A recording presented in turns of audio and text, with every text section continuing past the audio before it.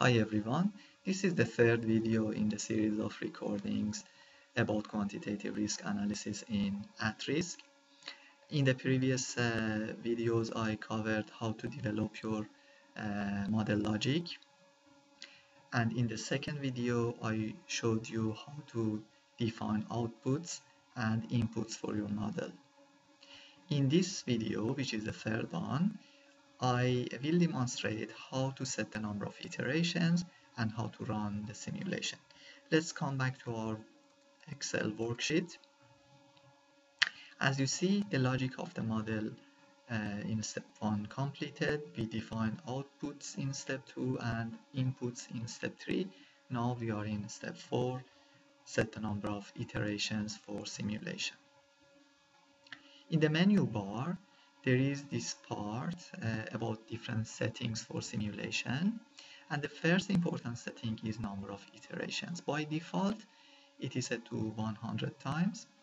And it is basically number of different scenarios that at risk analyzes in a Monte Carlo simulation. So the more is the number of iterations you select the more accurate the result of simulation for common models like this, I will suggest something between 1000 to 5000 iterations for an accurate answer. Let's go for 2000 iterations for this uh, particular model.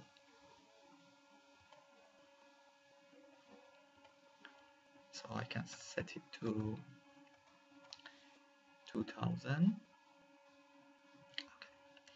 Another important setting in uh, at risk for simulation is the static or random calculation of values. As you will see in this screen, all the values are the most likely values that we entered uh, when we developed the model logic.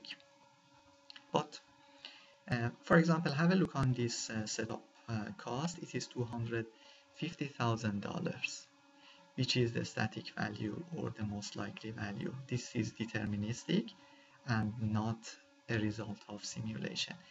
When you click on this dice button in the menu bar, it changes the static mode to random mode. So let's do that and have a look on 250k and see how it changes. Now it is 256, uh, almost $256,000. So these are random values that uh, at risk selected based on the tri triangular distribution that we defined for setup cost in uh, previous steps.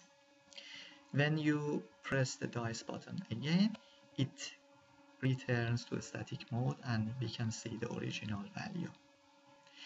So having this uh, option on or off doesn't change the result of simulation but uh, it is a good uh, visual help uh, to see some random values for your uncertain inputs. Now we have set the number of iterations and step 4 is complete. It is time to run the simulation in step 5. It is a very quick step and we just need to press start simulation button in the menu bar.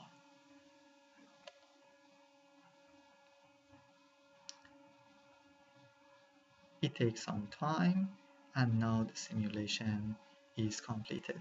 So whatever cell you select in the Excel worksheet, you can see the result in uh, the result window.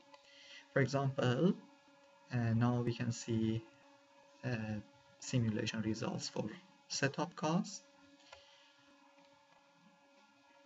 and you can uh, select NPV1 which is an output and it is important for us to see the simulation results.